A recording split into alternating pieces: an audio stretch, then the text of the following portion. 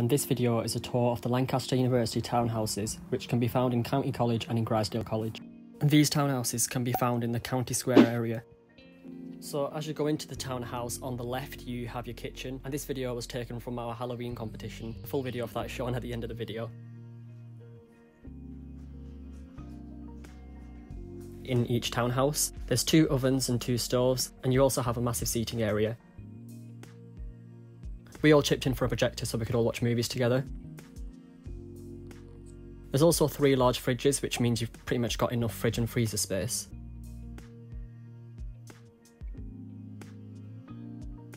And in the seating area, you've got the double doors that overlook onto the grass area. And in some other townhouses, you have the barbecues outside as well. It's quite normal to be approached by ducks here as well.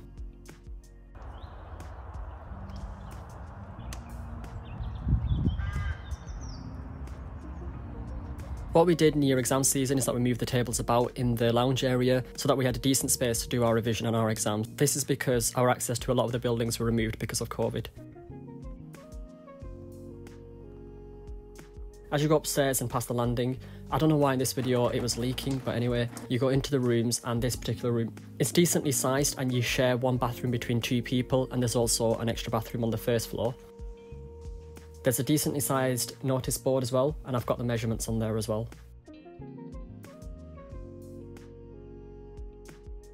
And also the heaters are quite powerful in these rooms and it gets quite hot during the summer.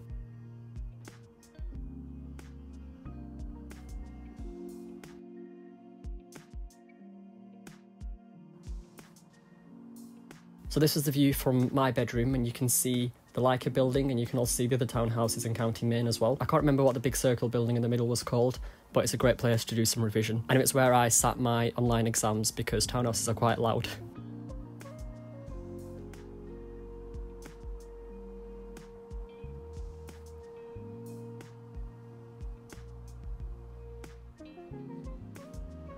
Outside the accommodation, you've got the bin areas, which isn't too far, and here we've got the competition video from our townhouse, which again shows the townhouse from another perspective. I would definitely recommend getting a townhouse over the other accommodations. In my first year, I lived in Cartmel College and I had a superior ensuite.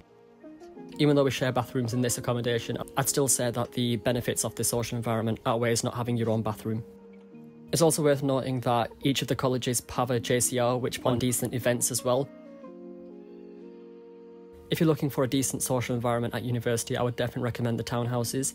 But if you're looking for a more quiet environment, then I'd probably recommend a different accommodation like County Main or John Creed if you're looking for something even quieter in the college. Alternatively, you can look at the other colleges as well.